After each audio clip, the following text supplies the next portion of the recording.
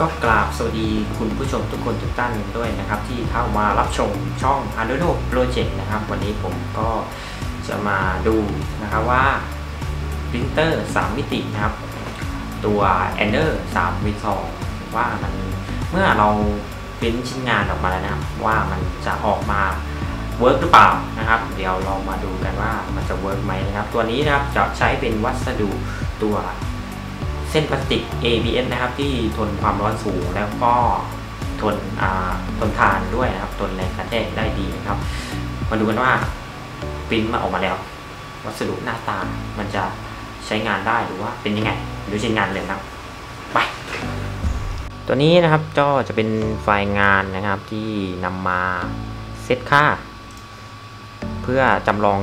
ก่อนการปริ้นแล้วก็ เป็นไฟล์ในการปริ้นงานนะครับ ก็จะเห็นได้ว่าตัวด้านในนะครับก็จะมีตัวรองรับด้วยนะครับเป็นตัวรองรับนะครับเส้นสีส้มนะเป็นตัวรองรับเติมด้านในนะเพื่อไม่ให้มันเปราะบาง ทีนี้ตัวตัวชั้นผนังก็จะเป็น 3 ชั้นนะครับ แต่ถ้าจะให้ประหยัด 2 ชั้นก็ได้นะครับแต่ถ้าต้องการความแข็งแรงที่ ที่โอเคขึ้นมาหน่อยนะเพราะตัวนี้เป็นเป็นเป็นฐานแขนกล ก็จะต้องการความความแข็งแรงขึ้นมาหน่อยก็จะได้แบบ 3 ชั้นไปเลยนะครับเนี่ยใช้สามชั้นไปเลย ส่วนตรงรูตรงตรงนั้นเมื่อกี้นะฮะก็จะมีตัว support อะเหมือนตัวสีฟ้านี้นะครับก็จะเป็นตัว supportให้กับตัวช่องสี่เหลี่ยมตัวนี้ เพราะว่ามันต้องพิมพ์ ทำมุมแบบ 90 องศาไปเลยนะครับ และฝั่งด้านนอกนะครับ เราตั้งไว้ได้นะฮะถ้าหากไม่ถึงมุมมุมที่ตั้งไว้ก็ไม่ต้องมีตัวทับพอร์ตนะครับก็ได้โอเค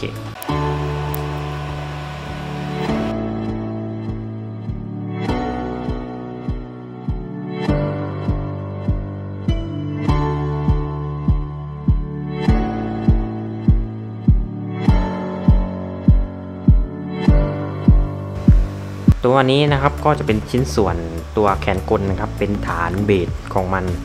นะครับ เมื่อปิ้นออกมาแล้วเนี่ยตัวนี้ก็จะพอพอใช้ได้นะครับ แล้วก็เดี๋ยวดึงออกมาดูนะครับ ความร้อนที่ใช้กับวัสดุ ABS นะครับ ในการตั้งค่าความร้อนก็คืออประมาณ 255 องศานะครับ แล้วก็ฐานเนี่ยเราจะใช้อุณหภูมิประมาณประมาณ 105 องศา นะครับ เพราะว่าตัววัสดุที่เป็น ABS ตัวนี้นะครับ ก็จะค่อนข้างจะใช้ความร้อนเยอะทีเดียวนะครับ ในการปริ้นชิ้นงานนะครับ ต่างจากวัสดุที่เป็นตัวเส้น PLA ตัวนี้จะเป็นวัสดุ PLA นะครับ จะใช้ความร้อนที่ต่ำกว่านะครับประมาณ 200 องศาถ้าจะไม่ผิดนะประมาณนั้น ตัวนี้จะใช้ประมาณ 255 องศาครับตั้งแต่ 250 ถึง 260 นะครับ ที่เราปรับตัววัสดุที่เป็น ABS นะครับ ตัวนี้นะครับการนำตัวชิ้นงานออกจากออกจากฐานนะครับ คือถ้าเราพิมพ์เสร็จปุ๊บนะครับ มันก็จะลดอุณหภูมิลงมาโดยอัตโนมัติจนถึง 0 องศานะเนี่ยก็คือ พื้นที่ฐานอะมันอยู่ที่ 45 องศานะครับ แล้วก็อุณหภูมิหัวฉีดนะครับ มันอยู่ที่ 30 องศานะครับ แล้วก็ฐานก็จะอยู่ที่ 45 องศาเซลเซียสนะครับ โอเคปินเสร็จแล้วนะใช้เวลาไปตัวนี้นะครับใช้เวลาไป 9 ชั่วโมงนะครับ กับอีก 1 นาทีนะครับ ค่อนข้างจะใช้เวลานานนะครับตัวนี้ เพราะว่าผมปิ้นแบบผนัง 3 ชั้นนะผนังผนังพวกนี้ สามชั้น แล้วก็มีตัวตัวเติมด้านในเป็นเป็นตารางขึ้นมาเพื่อ support น้ำหนักด้วยนะครับ แล้วก็มีตัว support นะครับจะเห็นได้ว่ามันจะเป็นรูตรงนี้ ทีนี้เมื่อมันลดอุณหภูมิลง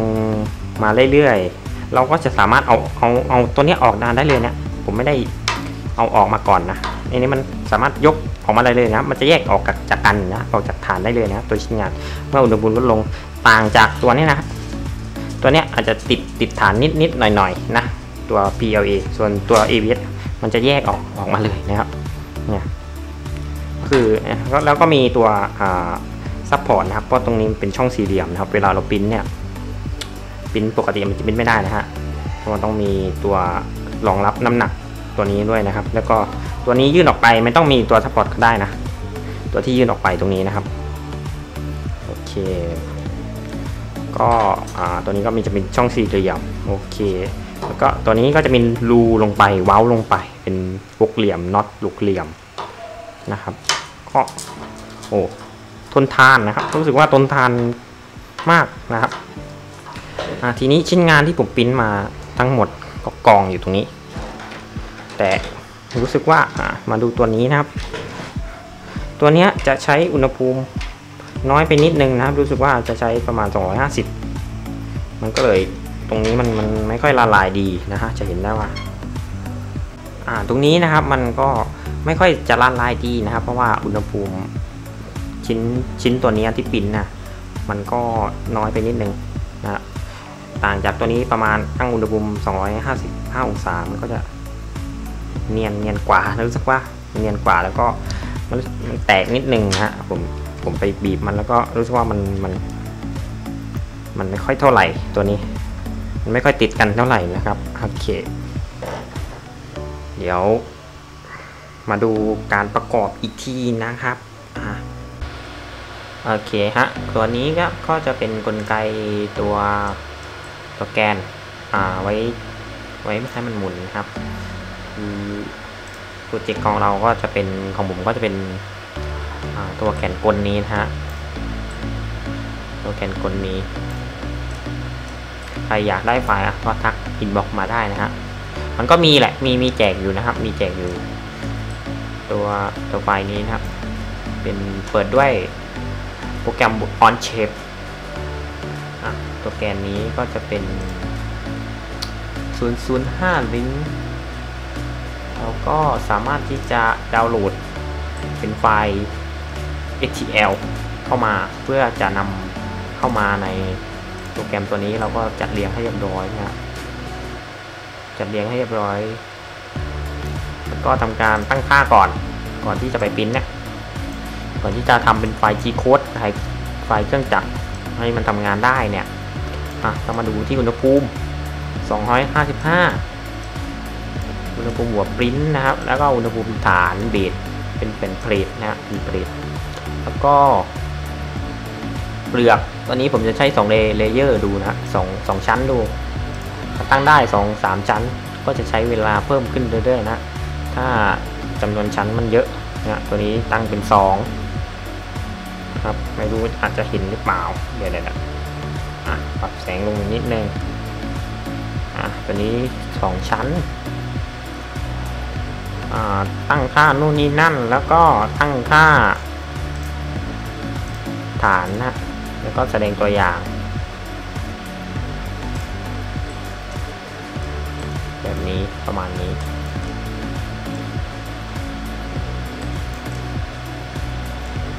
ลองพรีวิวดูโดยการลากตัวนี้นะ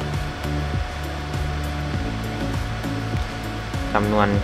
การเดินลายมันก็จะเดินลายลักษณะประมาณนี้ โดยมีตัวตัวเติมด้านในด้วยนะกัน ทำให้มันแข็งแรงเพิ่มมากยิ่งขึ้น ก็คือเป็นตัวกริดนะเลือกเป็นกริดมันก็เป็นช่องสี่เหลี่ยมสี่เหลี่ยมเติมไว้ด้านในเพื่อความ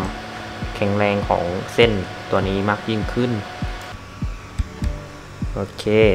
แล้วก็ผมก็ save ไฟล์เข้าไปแล้วในใน SD card ตัวนี้ก็จะมี SD card อยู่ให้เรา save ไฟล์ G code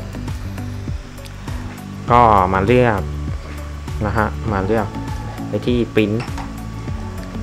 แล้วก็เอา base link ตัวนี้ไฟล์แรกนะครับ